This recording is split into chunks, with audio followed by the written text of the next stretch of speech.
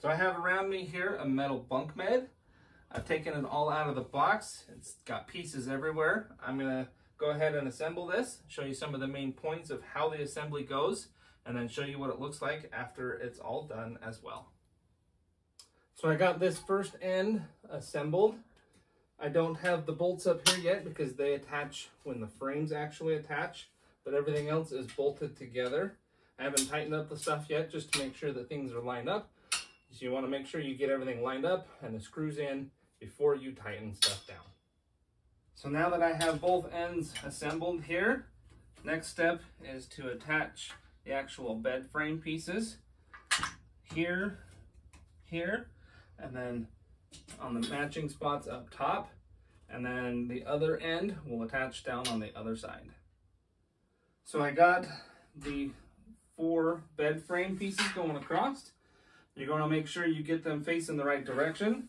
The part where the nut is going to be is going to be on the bottom of all of them with this inner tray on the inside. And then next is going to be the railings and the spans going across. So putting these on is pretty straightforward. Just going to slip them in here like that, going all the way across. And then there's a bunch of holes and you're just gonna space them where they're supposed to be. Put in all the bolts for both the top and the bottom. So I got all of these attached here.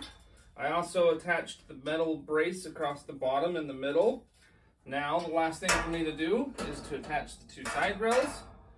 One on this side right here and one on that side for safety.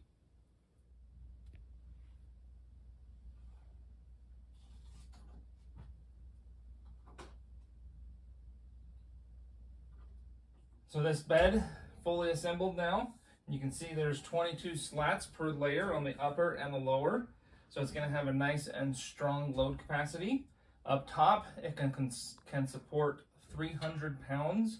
And then down on the bottom can support 400 pounds.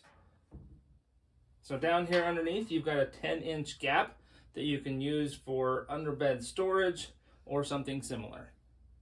So this bunk bed features a, what's gonna called a twin over full. So you've got a twin size mattress up top and a full size mattress down on the bottom. So the framing is made of cold rolled steel and then the entire thing is covered in electric electrostatic powder coating to help make it look nice and have it be nice and durable as well.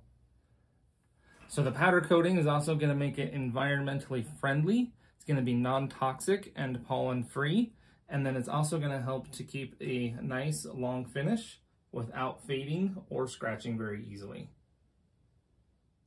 So both the guardrail and the ladder are made of round tubes, which is gonna improve safety and help prevent accidental scratching.